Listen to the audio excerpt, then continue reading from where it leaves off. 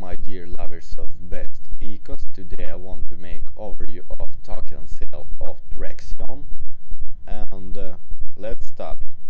We can see token distribution where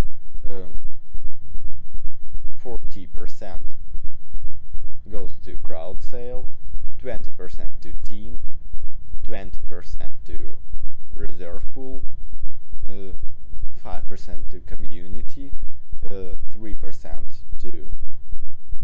and rewards, 2 to CC, CSR, uh, 2 to seed, and 8% for pre-sale. Uh, total token supply uh, 500 of millions uh, for token sale. We can see the half of that um, token price we can see here hard cap 45 millions of dollars uh, and uh, 50 millions of dollars. Okay it's very strange information. And uh, we can see bonuses and fund allocation.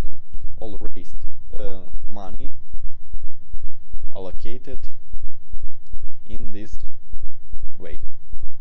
Uh, 35 platform development, 30 business development, 20 legal and compliance, and 15 operations.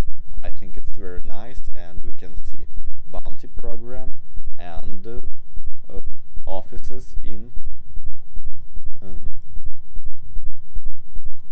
Ireland, India, Philippines and Singapore.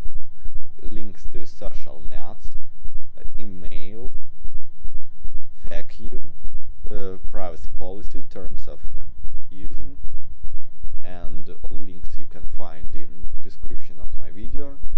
Learn more about this project, good luck and invest your money wise.